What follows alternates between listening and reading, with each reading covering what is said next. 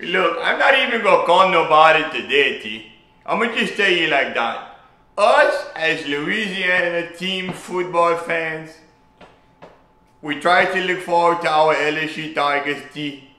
Wow. Wow, T. Mississippi State, T.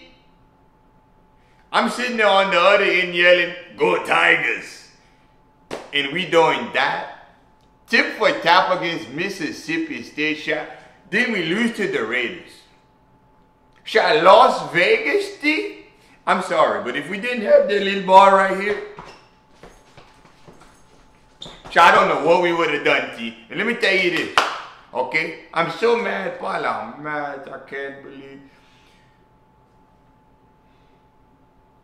We need this win against the Packers, T, because if we do what we did against the Raiders, T, the Packers gonna run all over us, split us open a new culotte, and then they gonna run, take off with that, and go eat some cheesecake. i can't have this today. I'm gonna lose my mind.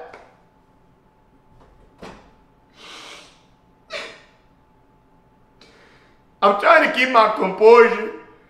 All I'm gonna say is who that at the end of the day, T. And I'm gonna ride with my team. Mr. Brees, I know you're getting overshot. I really think this should be your last year to retire.